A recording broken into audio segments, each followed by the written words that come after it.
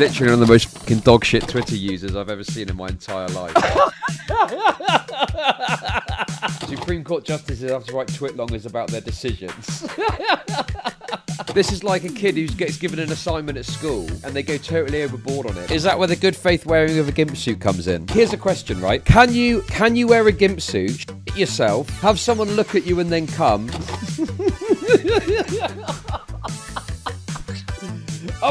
losing it over here. What? Decisions Riley's made in the course of this, which are motivated primarily by financial or clout incentive. There's no doubt about it.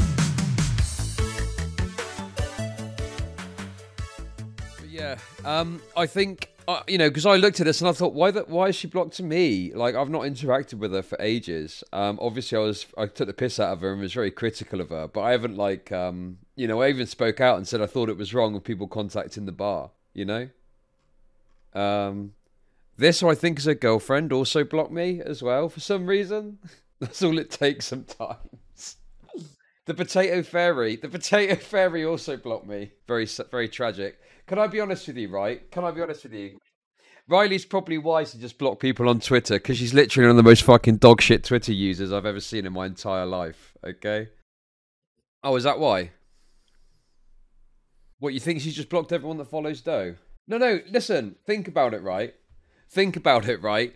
Um, she literally cannot use Twitter for more than a few days without having a, without absolutely fucking losing it. You know, she honestly can't use Twitter without fucking losing it. Right? Do you remember the eat the rich thing? Do you remember the eat the rich thing?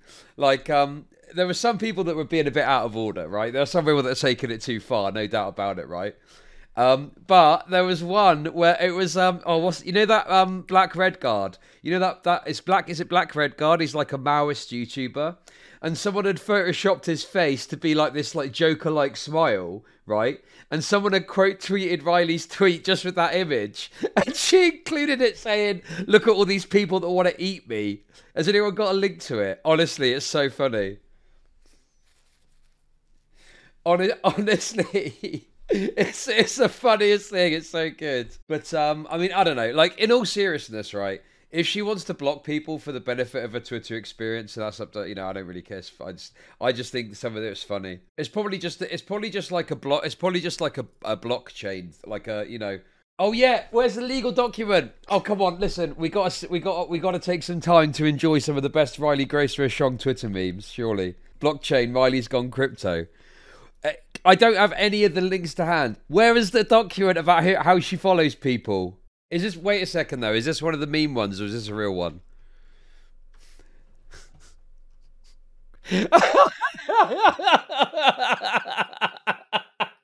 Imagine writing a whole ass document about following someone on Twitter. Oh my god. I Right, let's read it, okay? Let's read it. You ready? One of my main issues with online political discourse is that oftentimes people enter discussions with the pretense of good faith when they have a conflict of interest because they're primarily motivated by something other than a genuine desire to understand a certain subject matter. This can this can make having conversation. Wait a second, hang on, wait. No, I need to wait.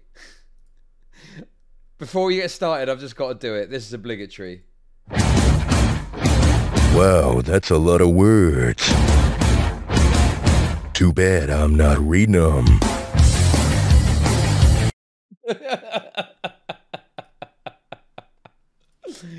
oh my god.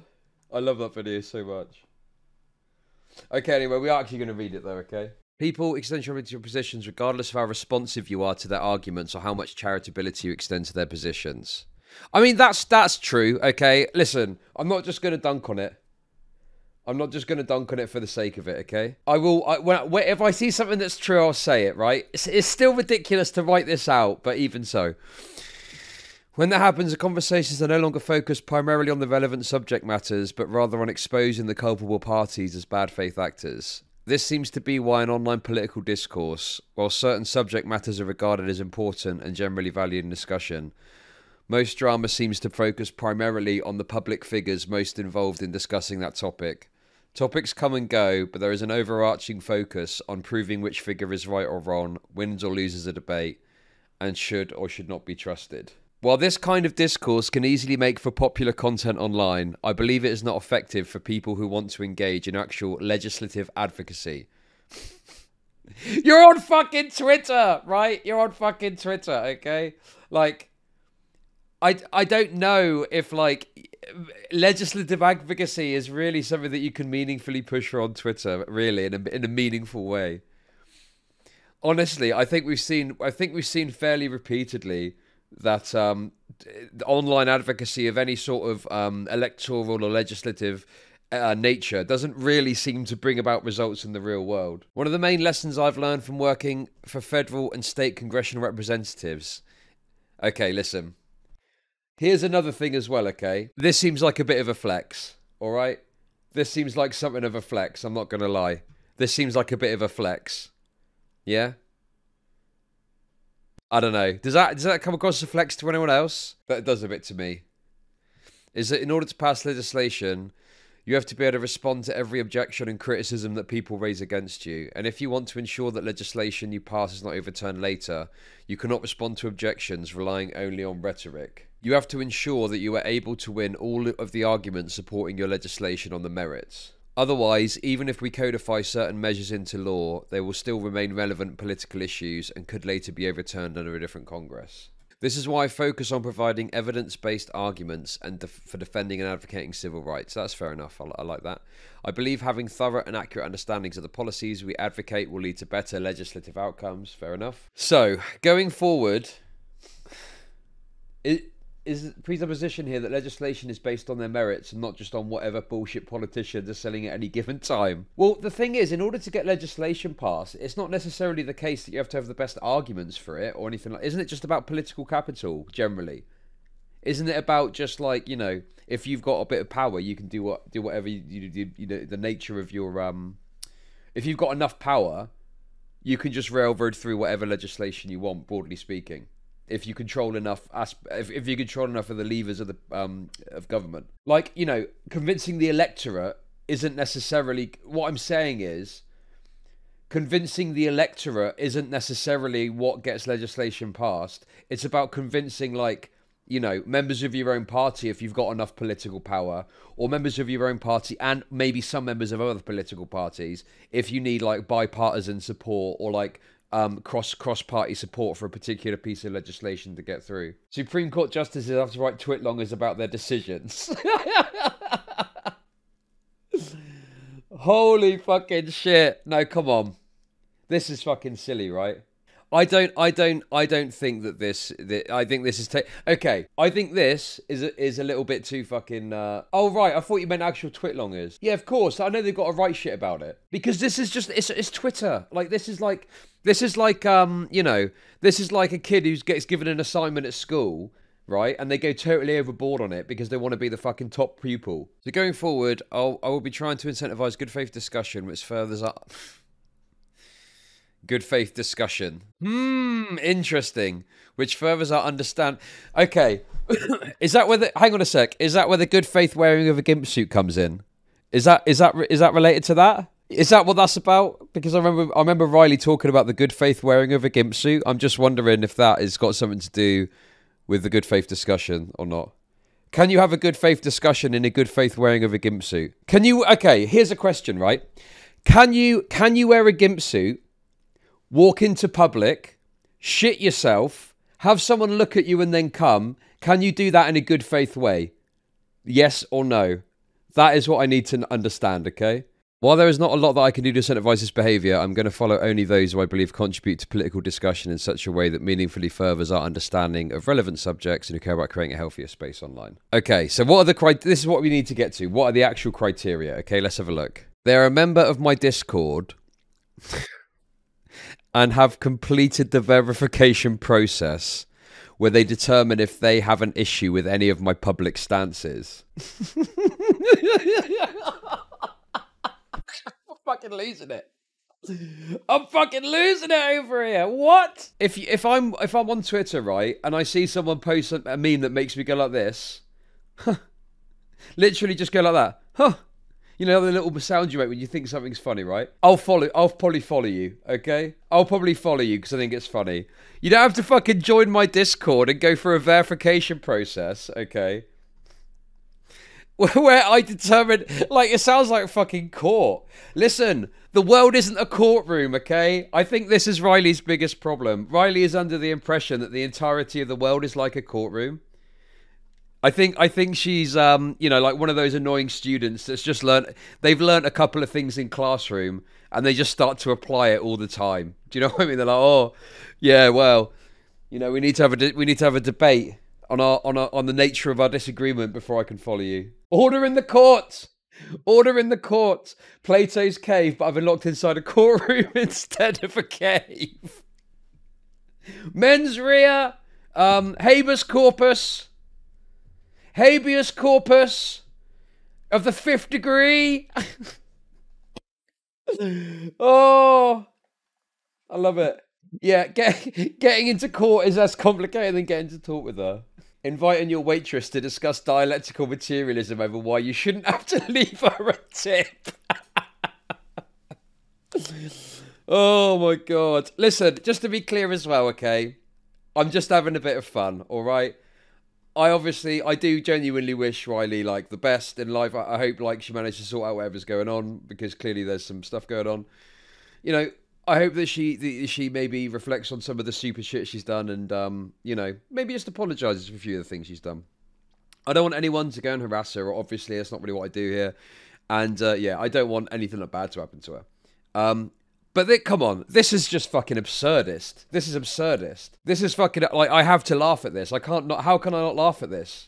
I'm the jester of the piece, you know. Okay, point number two. Point number two. Okay, they're a public figure with more than 1,000 followers on the relevant social media platforms, or I am reasonably convinced they will get more than 1,000 followers on the relevant social media platform. Do you have to like? Do you have to plead your case? Do you have to plead your case? Do you have to plead your case to Riley? Well, here's the thing, Riley. Uh, I know I'm only at 700 followers at the moment, but my meme release schedule, my my meme release pipeline is is looking pretty good at the moment. Um, I've got three certified bangers that are due to come out in the next few days, um, and further to that, um, I'm going to be doing a Twitter space. I'm going to be doing a Twitter space. on usage of the N word, whether that's acceptable in private. So that should push me up over the thousand followers. Okay. Number three, I've interacted with them to the point where I'm reasonably sure that they, A, have made reasonable efforts to understand my arguments and be responsive to them. B, do not intend to cause me or my community harm. I mean, fair enough. C, have made reasonable efforts to reconcile any harm they may have negligently caused me prior. D. Do not have an unhealthy parasocial relationship with me. E. Are not motivated primarily by financial or clout incentive. And F. Are primarily motivated by genuine care for other people. And then she signed. She signed it. It's not dated. So I think somebody. Yeah, in chat. In chat. Just to be clear, this was months ago. I just thought was funny. Riley does not follow sub 1k Andes. Chud follows me, seven followers. I think we all know it's truly based here. This is like a manifesto for Twitter followers, for Twitter follows. I don't know. oh wait, here's another one. What's this one? What the fuck did you just say about me, you little bitch? I'll have you know I graduated top of my class in the Navy SEALs, and I've been involved in numerous secret raids on Al Qaeda. And I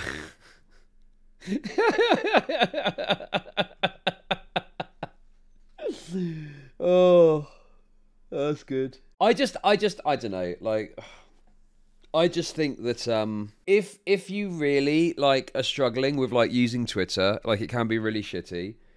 The best thing that you can do, because Twitter's a terrible platform for like having a conversation anyway, right? But the best thing that you can do is literally just like limit your posts to putting stuff out there mute the thread.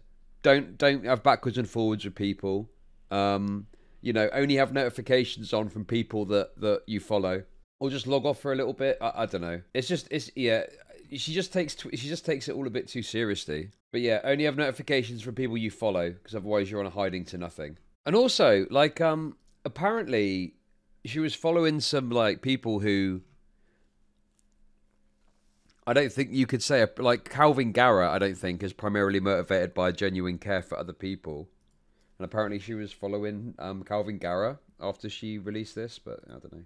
It's funny as well because li- listen, I'm not motivated primarily by financial clout incentive. I'm sorry, but online, I think everyone is motivated motivated by at least a clout incentive to some degree. Um, primarily, maybe not, I guess, but even so, uh, like, there's absolutely um, decisions Riley's made in the course of this which are motivated primarily by financial or clout incentive. There's no doubt about it. You know, there's no there's no way that you can um, say that, that some of the people she continued to interact with and follow and whatever are primarily motivated by a genuine care for other people. So it's like, well, why why then? Honestly, like I just hope she manages to sort out whatever's going on. Um, but yeah, I just I just I just find a lot of it just to be fucking hilarious, and I like laughing at it. Yeah, just focus on the law stuff, I guess, or something. I don't, I don't know if I don't know how this this space is unironically like super fucking hardcore, like in a lot of ways. Um, like I don't, I don't know if if I mean I don't know if I'd be able to manage if I was if I was doing some sort of legal thing or something or some sort of course. Like I don't, I'd probably have to massively limit all of this this stuff. But I'm not planning on doing that because I'm not a fucking nerd. And as we all know, this is me walking into my uh, local university library. Wow, that's a lot of words. Too bad I'm not reading them. Oh, hey Dylan, how's it going? We're just having a laugh at some of Riley's legalese bullshit, that's all. I fucking had it with this scene. It's so fucking. It's not only toxic, it's